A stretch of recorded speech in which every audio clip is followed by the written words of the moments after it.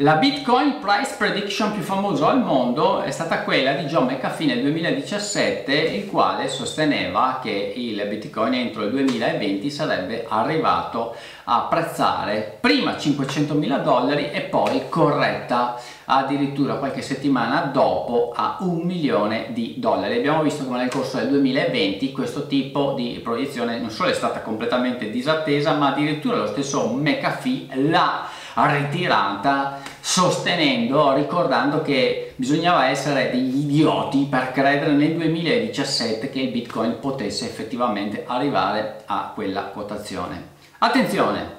mai che succeda che il bitcoin possa arrivare a un milione di dollari o che si avvicini o che quantomeno raggiunga quotazioni eh, oggettivamente molto elevate. E sapete per quale motivo?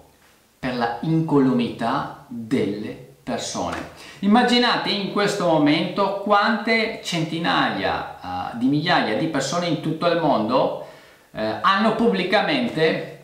um, sostenuto di aver acquistato frazioni di bitcoin o qualche uh, bitcoin e lo hanno fatto appunto in maniera pubblica riportandolo in qualche eh, intervista, eh, citandolo all'interno di qualche eh, piattaforma di interazione sociale, quindi affermazioni che col tempo poi rimangono e possono essere rintracciate. Rintracciate da chi? E immaginatelo un attimo, da qualche organizzazione criminale che si occuperà più avanti di andare a ricercare le persone che in passato avevano dichiarato di aver acquistato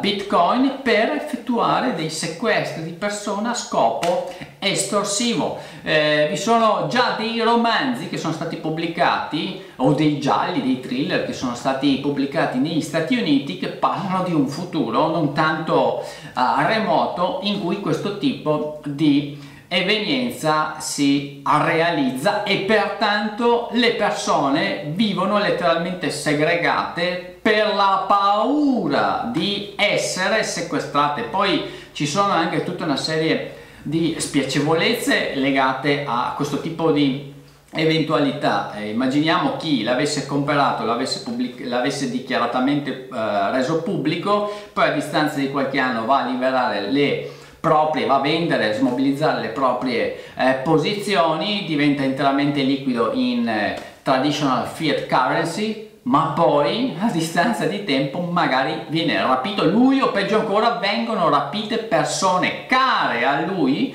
ai quali viene imposto, richiesto un riscatto. Eh, da questo punto di vista la maggior parte delle istituzioni a livello nazionale non potrebbe fare niente perché sappiamo benissimo come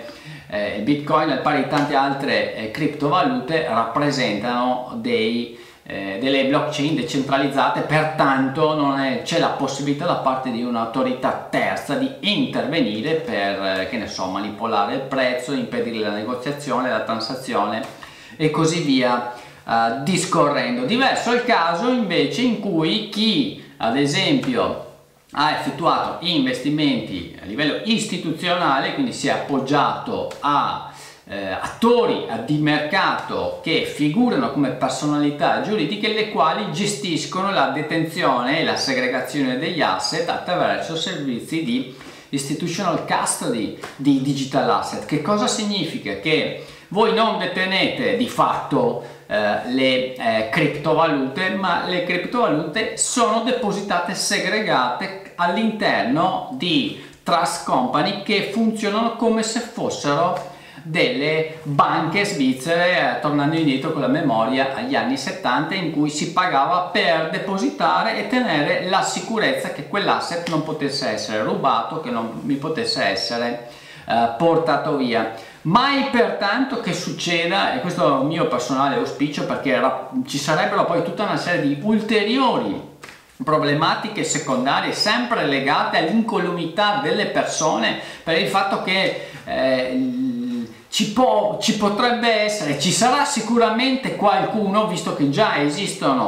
visto già che esistono oggi uh, truffe conclamate che vengono strutturate utilizzando proprio il bitcoin o altre criptovalute analoghe che quindi non consentono con, fac- con facilità l'identificazione del beneficiario uh, finale e eh, possono e potrebbero dar vita a, a, questo tipo di mondo sommerso di nuove opportunità per il crimine organizzato che inizierà a sequestrare le persone care a chi, di chi aveva in passato annunciato di aver investito in bitcoin. Pertanto ti diranno letteralmente guarda abbiamo sequestrato tua figlia che è uscita dalle scuole se la vuoi rivedere vedi di presentarti a, questo, a, questo, a questa location che è distante da telecamere e che non sia facilmente eh, rintracciabile da terzi con la transazione di bitcoin o meglio ancora la transazione la facciamo in tempo reale in quel momento quando ci trasferisci i bitcoin o le frazioni di bitcoin ricordiamoci che una frazione di bitcoin potrebbe tranquillamente se quelle mh,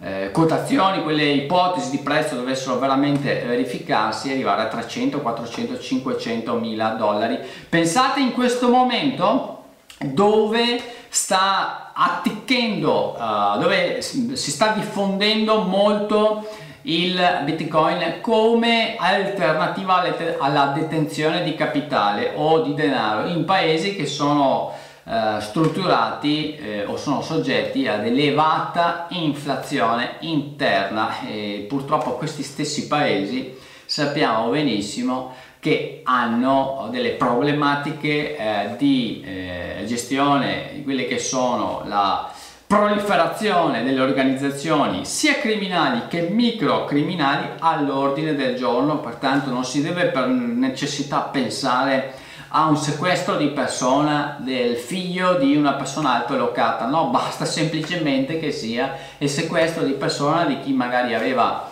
ha detto di aver investito oppure si riesce a risalire a chi potrebbe essere il soggetto beneficiario di una determinata transazione per andargli a sequestrare il figlio o i figli con lo scopo poi di estorcere denaro. Vi lascio in nota integrativa della clip ulteriori elementi di approfondimento a questo tipo di rischio qualora, ripeto, il bitcoin dovesse arrivare a quotazioni veramente notevoli, veramente elevate.